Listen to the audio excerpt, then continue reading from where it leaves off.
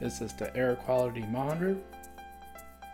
It's PM 2.5 and PM 10 monitor, temperature humidity monitor, laser sensor accuracy, real-time LCD display, and has rechargeable battery. I'm doing an unboxing. So you get a user manual, USB charging cable, and the air quality monitor.